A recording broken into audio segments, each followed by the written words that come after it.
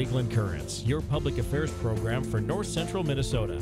Produced by Lakeland PBS with host Ray Gildow. Production funding for Lakeland Currents is made possible by Bemidji Regional Airport, serving the region with daily flights to Minneapolis St. Paul International Airport. More information available at bemidjiairport.org. Closed captioning for Lakeland Currents is sponsored by Nisswa Tax Service, tax preparation for businesses and individuals. Online at nisswatax.com. Hello again, everyone, and welcome to Lakeland Currents.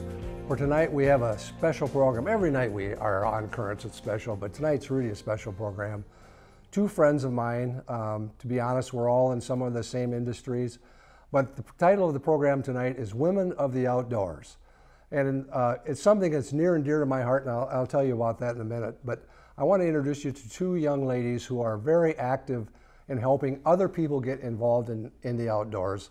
A lot of people know them from the fishing trade, but we're also they are also involved in a lot of other aspects of the, the outdoors and hunting, and they do fishing things and other things. They work with different groups, helping them be exposed to the outdoors, and I think it's a pretty neat deal. To my immediate right is Nancy Koep, and for people in central Minnesota, the Koep name is pretty well known because her uncle is Marv Koep, the Hall of Fame fisherman, the National Hall of Fame fisherman, I believe, and I, for sure the Minnesota Fishing Hall of Fame. And Nancy comes from Glenwood, Minnesota, and she and her husband have a store. What's the, what's the name of the store besides Koep's? Uh, it officially Koep's Glenwood Corner.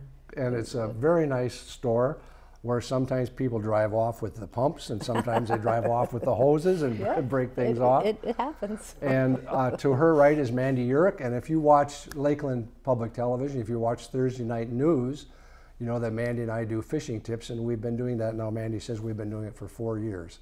Hopefully, we've helped some of you learn how to catch a few fish. Nancy, let's let's start with you a little bit. Um, you're not here because your uncle's famous. You're here because of the achievements that you have of yourself. And I just know from knowing your family how much time you spend helping other people. You do a great deal of things for kids, uh, wounded warriors, all kinds of things. But talk about a little bit about your background. How did you get involved in the outdoor stuff? Well, I grew up in Clitherall, um, and we had a resort as growing up. So whenever I had a free moment and I had all my chores done, then I could take the boat out and go fishing. Was that on Clitherall Lake? It was actually Spitzer Lake. Okay. Um, so I would just take the boat out and go fishing. And probably, I think we had that for probably 10 years, 10, 12 years. And then my parents decided to build a gas station in Clitherall. And so we had that gas station called Koep's there for 27 years they had it. Um, and so I just, I was in the industry. I would go to all the tackle shows and trade shows with my parents. Um, then I got involved with the National Professional Anglers Association because they were doing at that time um, events for kids. And so one of my friends said you should join because they do all these different events with kids and you can put on clinics and, and get involved with the kids because they knew that's what I like to do. So um, I started there and it just kind of evolved into so much more. And not only is your uncle famous, but the Koep name is famous in Minnesota for, because of the Koeps in Urbank, which would be your uncle. Correct. Um, which are one of the major suppliers of bait throughout Minnesota, Right. still to this day. Yep. And uh, how many uncles do you have that are in the business, of in some form or another? Just one now. Just one left, and then Marv. Philip. Yep, and yeah, Marv. And Phil and Marv. Okay. And you now live in Glenwood, and you have do you have two boys? Two boys. Yep. And- Evan's 17 and Ty's 11. And they are both active in the outdoors, I'm guessing. Um, Evan is Ty, not Y- so much. You have one that's into the computer stuff. Yes. Yeah. Yep. Well, that's Yep. not. If his friends are fishing, he's all for it. Um, but for me and him to go out, he, he would he would choose to stay home. okay. Evan's the one that wakes me up at 5:30 when I say we're leaving at six to say, "Mom, let's go fishing." Now, Mandy, Mandy has been on our program before, about a few years ago. We don't remember exactly how long ago. But Mandy, talk a little bit about your background. fairly similar actually to Nancy's, which is kind of scary. Uh, I grew up in North Dakota, and we had a little resort on on Devil's Lake, and so I'm the youngest of six kids, five older brothers, and I loved it. You know, my brothers didn't like it.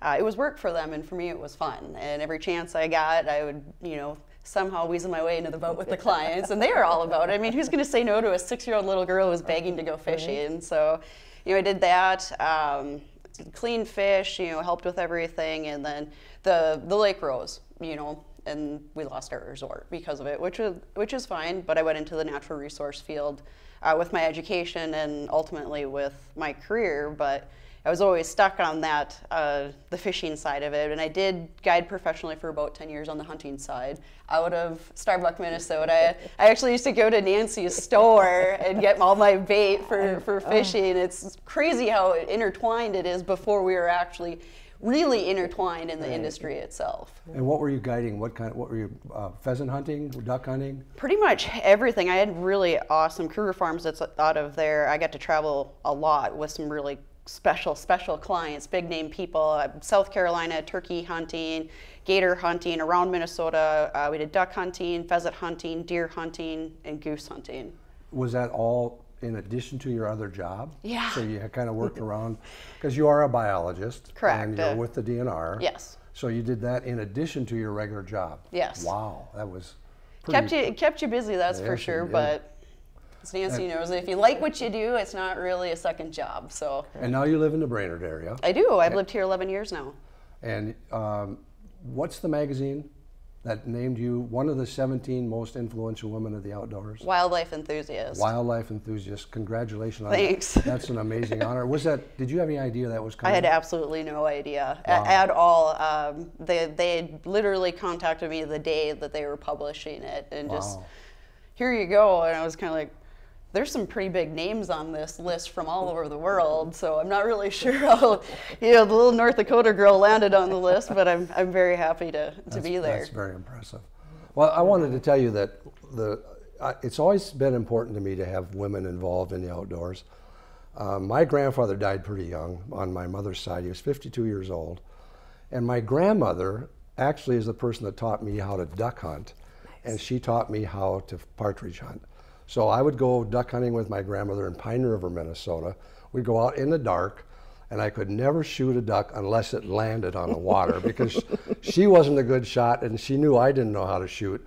But that always has stuck with me that, you know, here's a grandmother that no one would ever dream would be out in a duck blind or walking through the woods partridge hunting with a 20 gauge shotgun. And I, I think it's just always been a part of my understanding that why should it just it's not just not for men to do these sort of things it's for women to do these sort of things also. Mm-hmm. And you are both very independent. And i need to tell the, the the viewers the story about the first time we did a fishing segment mandy and i together. Mandy had this big truck and this big boat and there were a bunch of guys standing along the shore. And nancy you said you've had similar experiences as to do and these guys, I could see them talking like, but does this gal know what she's doing? You better watch out. She's going to run over us or something. And she turned around and whipped in and backed that truck in and jumped out and unhooked it. And these guys are going, wow. It's probably better than any of those guys could do. And I have talked to women who are petrified to try to back a boat up because they are always in an area where there's people watching and they don't get an opportunity to go out and kind of practice to do that. And you guys are you don't need help when you're doing that. You've got big boats. You just back them in, you unhook them, and tie them up. And you've it's been doing it for so long, it comes natural to you. But mm-hmm. you also are involved in a program that teaches women how to do that sort of thing. Who wants to start out talking about what that program is? I'll let Mandy start because she was the one that I got the phone call from to ask if I wanted to do the event on Lake Minnewaska for walleyes. So I'll let her start. Which, by the way, I was super ecstatic. Uh, the bow program, uh, Linda Bylander is the coordinator for it, and it's actually the oldest and largest bow program in North America. We offer almost 150 different opportunities. It can be from kayaking to birding to geocaching to fishing to archery hunting. I It's mean, called Bow, Bow, becoming an outdoor woman. B O W. Correct. And I think it was three or four years ago, um, Linda came to me and said, Hey, would you be interested in? I know you got a wide breadth of a background for natural resources, you hunt and fished, for teaching something. And I was like, Yeah, absolutely. And they didn't expect what we got, which was great. The very first session that I did was um, a bass and muskie one, and we offered it at Cabela's, and we had room for 60 people. They were thinking maybe 30 people were going to show up. 90 people showed up. It was standing Wow. room only, and it's a two-hour course. But what I did differently from the other courses was it was mandatory that you had to come for the hands-on learning session, but then you were immediately paired with a guide and you got to go out and fishing and actually apply those skills that we just talked about. So you're, you're using the tackle, you're, you know, you're using the rods, you're really applying those skills that you just took the time to learn. It, and it, it blew up, and all of a sudden we had this waiting list, and it was doing all these species, and I just finally had to go back to Linda, and I was like, we need some help. and I'm like, I got a gal in mind. I was like, I'm like, let me give her a call and see if she'd be interested. And Linda didn't know Nancy at the time and was totally like, I trust you. You know, if you think that, you know, this is going to work and obviously it's worked it's worked out great so i gave nancy the call and i was like hey i was like i really need you to pick up this walleye session what do you think about it she didn't even box she's like yep i got it So, are you still doing that? Are you still involved with that program? Yes. Both of you still are? And is it seasonal? Is there a certain time of the year that you offer these courses, or how do people find out about it? I do mine in June. It's the second week in June is when I've been doing mine. This will be my third year doing it. And you do that in Glenwood? In Glenwood, yep. Um, so the women stay at Peters Resort, or last year they stayed at Hunts Resort, two, two res- resorts on Minnewaska. Um, and then I do like a Friday night meet and greet, and I take them around the lake. We have a little night cruise, and then Saturday morning we do training sessions, um, just basically about walleyes. You start from the ground and work their way up to about everything from understanding their habitat to basically fishing them. Tackle, the tackle, yep. What best practices are, different methods, different types of season, what to use for spring, summer, fall. Um, you know, just go through all of that with the women, and then in the afternoons we take them out fishing. So, what, what's the range of age that are Oh. involved usually? I've had my youngest, I guess, was probably 17. A mother and daughter came last year, And then, and then the oldest is, um, geez, I want to say she was close to 70 this year. Wow. She was a I was going to say, I, I had a gal that she was pushing 80. wow. Wow. And she came to the, the hands-on bass session, and in between coming to the actual guide session, she had fallen and broken her arm in two places. And she came, and she was like, I, oh, "You don't think I'm gonna miss this, do you?" so, wow. I mean, oh, wow. but that's that's the great thing about it. There is mm-hmm. no age limit, you know, to get out and, and do these things and learn new So, when do you do your cl- program, Mandy? whenever I can fit it in. I've, I've done stuff in the spring and I've done stuff in the fall. It just depends on the species. And obviously, I've got work. I've got 30 plus tournaments a year. We got to squeeze in all our other stuff. so mine's limited. Ours are because we're hands on and on the water. But the bow program itself is a full calendar year. There's oh. programs going on year round. And how do people find out about that? Do, can they go to a website for the DNR, for the BOW program, or how do they? absolutely. You can just Google it, and there's a whole There's calendar on there right now. Facebook page. They have So a, just ho- ho- designated for Minnesota. And how many other women are doing what you two are doing? Are there quite a few around the state doing it, or no? The the volunteering or the the actual class, the, the classes that you're doing, that you volunteer to teach. I think we're it. Really? This is it. Just you two are the main two people doing And I'm it. sure that if we had time, we could expand and, and do more of it and, and help them out more. But I mean, it just like Mandy said, you got 30 tournaments a year. You got we have jobs, we have And you family. tournament fish too, don't you? Yes. Yeah. And you teach the ladies how to back a boat up and that sort of thing at that class, or, Um, not, or not so much? I guess I don't personally teach them. I have a slide that kind of shows them how to do it properly, but I don't physically take them out and show them. I just give them pointers like, you know, um, go to a park one day or go someplace where they can practice where it doesn't have to be an actual access. I'm sure if we actually offered a class on in itself, we would have people there definitely. I mean, if you did a, it would be a good idea actually between backing and running boats. But the difference between a tiller boat and a wheel boat, I'm sure our class would be Oh, full. Because I know a lot of women that I've talked to are embarrassed to go try to do it at a, at a public landing because they're afraid people are watching and will make fun of them. Because it takes a while to get the hang of it. Um, uh, that's very interesting. So it's called BOW, B O W, and it can be seen on the website from the DNR. And uh, next spring, I'm guessing you guys, or next summer, will be doing a couple classes again. What else? What else are you both involved in? Do you do anything else together? That's well. You, let's talk a little bit about your tournament fishing. You're both tournament fishermen, and Mandy, you said you do about thirty a year. Correct. And how about you, Nancy? Oh, I maybe do six. I got kids. yeah, I know. and are they multi-species, or um, I know Mandy's focus? pr- I think he does multi-species too, but a lot more on the bass side than on walleyes. I'm a lot more on the walleye side. You are. And where are, where are you usually doing it? In what area? Um, let's see, Otter Tail Lake. Uh, went up to Pokegama this year, did a tournament up there. Uh, Reno, did a tournament on Reno, Minnewaska. And how about you, Mandy? Where do you go?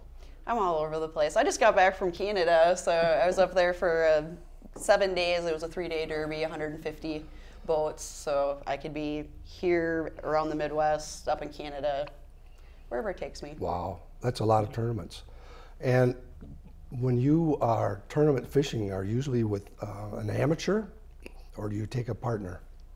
I normally have a partner. if my son Evan can do it, he's usually my partner. We have a lot of good times in the boat. Um, otherwise, it's just a friend, whoever, whether it's another girl or a, a gentleman. How about you, Mandy? Both. it just depends. I fish four different series, so each series is different. Um, two of them, it's a partner series, so I have I have a partner actually for each one, a different partner for each one of those. But if it's um, you know MFBA or one of those, then it's a pro am system where you're you're linked with a co-angler amateur. How many women do you see in these tournaments? Not a lot on my side. No, I don't either. And actually, on the bass side, I've seen it grow tenfold from 10 years ago where I started. Um, the only other gal at that time was, was Janet Parker. Um, she was kind of my inspiration, and she uh, filmed some TV shows with Steve Pennaz, and she was actually fishing the Bass FLW series as a pro. Um, then I got into it, and I didn't really see anybody else. Um, Michaela Anderson, who's just been a little phenom. I've you know, fished against her since she was in high school, and she's she's a heck of a stick. But clubs have helped. Uh, the high school fishing team is definitely helping. Mm-hmm. On average, though, I maybe see three or four other gals, you know, on the, on a main series circuit. Well, let's just talk about you, you brought up the high school fishing teams. That's a really a big movement, isn't it? It's pretty exciting. That's crazy. Uh, and I know you both have been involved with it at some level, haven't you? I, Yes. I know Nancy, you're Yep. very involved down there. Let, talk a little bit about it because I'm doing a show later, in probably November, about the uh, Brainerd High School fishing team. But what is it? What's going on there? Well, when I, I guess I didn't really get asked to do it. Um, I just kind of suggested it to our athletic coordinator that we have um, at school. And I said, you know, this is what I'm thinking. And he's like, well, we don't have the funding for you to do this program. He's like, because you're a coach and you need to be making X amount of dollars. And I'm like, that's not why I'm here. I'll volunteer my time to start a fishing program in school. So um, it evolved from there. I went to the superintendent. He likes what I do with the kids in the MinnAqua program for the fifth graders. So he's like, yep, do whatever you need to do, Nancy, and just send me the stuff. And so we kicked it off, ended up with 22 kids for our first year for the And do you have girls? I yes, I have one girl. One girl. Yep. so and uh, Um, that's the fastest growing movement, I think, in high schools Oh, after the it's- trap shooting yes. teams. Uh, I think Brainerd has the second largest fishing team. Brainerd's is I think huge. Minnetonka has the number one team Mm-hmm. in the state. A great opportunity for kids who don't get to go fishing otherwise. Oh. Yeah. Maybe they don't have parents that have boats. Mandy, do you work with the? Have you worked with the Brainerd team at all? I've worked with them a little bit. I actually mentor a couple of the kids. So on a regular series, I've had Will. Now this is his fifth year with me, so I've had him since he was actually smaller than me. Now I have to look up to him, but uh, which it, which is nice. And I've helped him more on the sponsorship side. When we were first getting going, I worked with 13, which was one of my sponsors, to help sponsor the team to be able to get the kids good quality rods at a price that everybody could afford. And that's, I think, the great thing about that is there is a sponsorship. I know there's more than one organization that they belong to. Bass is one, but not the only organization. And these kids get opportunities to get tackled that they maybe couldn't afford to have otherwise. Um, they learn techniques. They go to different lakes. And I think almost every weekend during the course of the season, they can be in a tournament if they want to be, can't oh, they? absolutely. That, yeah. That's just a great program. And I think there's a number of women in the Brainerd program, I- or uh, girls, I should say, high school girls. Uh, that's just a that's a great thing to see. And um, They also started this year. It was called the Heart of the Lakes Fishing Tournament, um, where it was like different sections of the Tri County Cooperative in the western section of Minnesota, where it was actually four different groups of schools got together one night um, during the month, and they all fished against each other. for So- people in your area, is there a way that they could get a hold of anyone in the program? Do Um, they have a oh, website down there, or I, I know they have a Facebook page. I'm not sure if they have a website yet. but they could get you through uh, your Facebook Absolutely, page. yep. Or the Alexandria coaches, or um, Fergus Falls, Detroit Lakes. because I, and and I know it's growing. Um, more and more people are getting involved, even if it's a. I think I talked to some coaches at the Northwest Sports Show. There were only four or five kids in the Mm-hmm. in the first program, but it's a start. It's a way to start getting kids going there. You know, and not all kids are athletes. Right. And that's something too, you know, where I see a lot of kids coming into Glenwood to, to fish um, on our high school team that, you know, they're not the star athlete. Yep. And, and this isn't out for them. This is something they can That's- do and they can a great excel at it. How about the Wounded Warriors and the veterans programs? You've both been active in that, I know. Talk talk a little bit about what you do there, both of you. Well, I'm on the board for Fishing with Vets, so we do a lot with veterans and taking them on trips. We have, I think, at least five trips every during the summer that we take them on. Now we've started doing some ice fishing trips, and just to get the veterans out on the water, give them the opportunity just to relax, have fun, just kind of let go, and not have all the other pressures in the world that are, are bothering them. Are there any special requirements? Do they have to be veterans of an era or anything? No. Nope. Just if I- they're a military veteran. Yep, I've been honored now to fish with a, a gentleman named Dale for twice now. He's a 91 year old World War II veteran. Wow. Uh, great, super guy, great guy. So this is And are you multi-species fishing when you do with yes. with those guys? Well, it depends. Sometimes we're just walleye. Sometimes it's multi-species. How about you, Mandy? You've you've done some work with that, that those groups too, haven't you? Yeah, I like. the- I do the one at Camp Ripley, and that's a really awesome moment. There's a lot of vets that mm-hmm. come for that, and it is every year. I look forward to it because you just. I've had some special requests where I, the same guys want, you know, to get the same guide over and over again. And the last guys that I had, I had two of them, and they were just a hoot. And I had them in my bass boat, and it was a little bit rough, and we were out on Mille Lacs. and they're like, "We want to go for a boat ride." I'm like, I'm looking at these, and they're both in there. You know, one's 70 and one's 80, and I'm thinking, okay, well, we'll go for a little boat ride. You know, so I I put it down and go into our fishing spot, and, uh, And how fast does your boat go?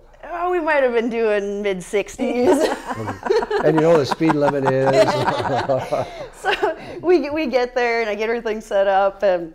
Uh, I, I had a really good actually smallmouth spot going for big smallies and we sat on for 15 minutes and it was as fast as we could catch them and they both looked at me all right let's go walleye fishing and I'm like hey that's cool and we picked up and went over to the other side of the lake and, and walleye fish but just listening to those guys tell those stories is truly amazing now you both do other things besides fishing. What are Mandy? You just got through with an exciting hunt. Maybe talk a little bit about that. Yeah. when I'm not uh, tournament angling, I do like to ice fish and I do hunt. Um, I actually, after 10 years of chasing the big black bear, uh, I finally got I it. finally got my black bear. So, but it's just one of those things. The outdoors, uh, it doesn't matter if it's Well, just or- talk about that bear. That was just a week ago or so. Correct. Uh, And tell us a little bit about how that happened. Um, I've been baiting obviously since you, it started, and baits were getting hit right away, and then nothing. And acorns are dropping, weather's warm, um, and so I stopped baiting. Went to Canada for my tournament, came home, the weather snapped. You know, we got that cold snap, and started baiting. Put the cameras back out, and bear started hitting it. And I had two of them, both big ones. So I let the bait sit, and I didn't refill them the night before, and then I, I baited it er, in the morning, and I sat all day long. And at four o'clock, came out, perfect heart shot, dropped him right there. It was a boar, wasn't it? yeah, a big Yeah. male. How Yeah. much did it weigh? I don't know. It was it, it broke the scale at camp. So Wow, big. it's a It was a beautiful big- animal. yeah. I don't know if you sent a picture of that in for our discussion today I or think not. I did, uh, Yeah, so it's a nice animal. Do you bear hunt or deer hunt? I know you. Deer, everybody in the Koep family deer hunts, Right. don't they? yep. I went bear hunting once, um, and then after I seen it all skinned out, I decided that maybe bear hunting's not quite my thing. So um, haven't went since. But yes, enjoy deer hunting, duck hunting, goose hunting, pheasant hunting. Enjoy it all. And you both do that. You both Correct. do all of those hunting. Ice fishing. When do you work? fishing. When do you guys work? Everybody says that. When do you work? I but that, like I that's the amazing thing about both of you is that because you are truly women of the outdoors. You are outdoor enthusiasts and you are good at what you do. And if people wanted to learn how to do some of the things that you do, obviously you're so busy you don't have time to spend a, a lot of time with a lot of people. Um, how else could they learn how to get into the, doing some of these things besides the program you talked about? Is there any other way any, that you would recommend if there are, are women watching today that would like to learn how to go deer hunting or they don't maybe hunt, have guys they hunt with, how would they get started? How, what would you recommend? Well, I know there's a big group of women that do a lot of fishing stuff together. Um, Women, women Anglers of Minnesota. Um, they are huge into fishing, and they're kind of trying to expand in a different variety of things. But I mean, if you want to get involved in fishing, that's a great place to start. Is to become a member of that. Hunting? Is there anything hunting? When when you uh, served as a guide down in um, Starbuck, um, do they do any training programs there, or um, Little Falls at the at the hunting range? No. Mostly, you got to know what you're doing when you walk into those places, don't you? Correct. Yeah. Yep. You got to go to the bow program. They Yep, teach it all. yep. Oh, it's so that really is the foundation It- for people. Yeah. And I would guess if there were uh, more and more people signing up, they would probably find. They would, I don't know if they'd find two more like you two. there aren't two more like We you actually two. have really good archery instructors and turkey instructors, women instructors for the bow program that do Okay. do that are that are phenomenal. Great. So Nancy, tell us how people can get a hold of you. Um, you can get a hold of me on my Facebook pages um, under Nancy Koep or our And website. it's K O E P for people that don't know how to spell Yep, cap. and it's actually under Nancy Ann Koep. I don't know how I got that on there, but um, otherwise, I have a web page for my store, which is koepsbait.com. You can go on there and send an email to me, and I can answer any questions for you. Mandy, how do we how do we get a hold of you? Look me up on Facebook, Instagram, find me on my website. Uh, just drop me an email. And it's U R UH. U H R I C H. Correct. Uhrich. Yes. And uh, Mandy has a very professional looking web page um, done by some very good photographers, right? I Yes. mean, yes. I've been very, very lucky. It's very, very well done. Well, thank you both for appearing on the show, and I think you're to both be to be commended for the tremendous amount of volunteerism that you do. Um, it's you're really mentors to a lot of ladies, and I hope they continue to take advantage of that. Thank you. Thank you. bet. You've been watching Lakeland Currents, where we're talking about what you're talking about. I'm Ray Gildow. So long until next time.